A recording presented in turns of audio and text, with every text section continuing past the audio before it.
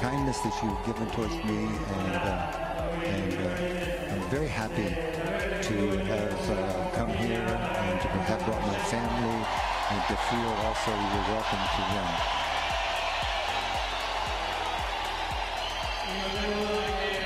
And,